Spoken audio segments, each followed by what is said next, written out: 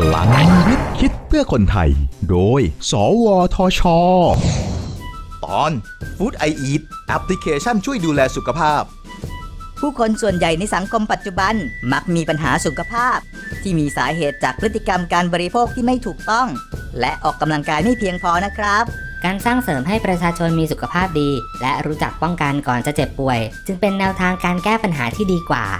และเดี๋ยวนี้เทคโนโลยีก็มีส่วนช่วยผู้บริโภค ให้ดูแลสุขภาพได้ง่ายขึ้นมากเลยครับ นักวิจัย สวทช พัฒนาแอปพลิเคชัน Food I Eat เพื่อช่วยในการปรับเปลี่ยนพฤติกรรมของผู้บริโภค และเสริมสร้างค่านิยมในการบริโภคอาหาร และการออกกำลังกายที่ถูกต้อง Food I Eat ถูกออกแบบมาให้ใช้งานง่าย บนโทรศัพท์สมาร์ทโฟน ทั้งระบบ iOS และ Android สามารถบันทึกพฤติกรรมการรับประทานอาหารคำนวณค่าพลังงานที่เผาผลาญจากการออกกำลังกาย และให้คำแนะนำการดูแลสุขภาพแก่ผู้บริโภคได้โดยตรง ผ่านเซิร์ฟเวอร์ ซึ่งจะเรียนรูู้้พฤติกรรมการบริโภคและออกกำลังกายของผู้ใช้ นอกจากนี้ Food I Eat ยังมีการเชื่อมโยงกับฐานข้อมูลคุณค่าทางโภชนาการสำหรับอาหารไทยจากหลายหน่วยงาน และข้อมูลฉลากโภชนาการของอาหาร ขนม และเครื่องดื่มอีกกว่า 3,000 รายการ สนับสนุนการสร้างเสริมสุขภาพคนไทย โดย n e c t e c สวทช สสส อยกรมอนามัย และสถาบันโภชนาการมหาวิทยาลัยมหิดล พัฒนาคนด้วยวิทยาศาสตร์ พัฒนาชาติด้วยเทคโนโลยี สอบถามรายละเอียดเพิ่มเติมได้ที่ สวทช 02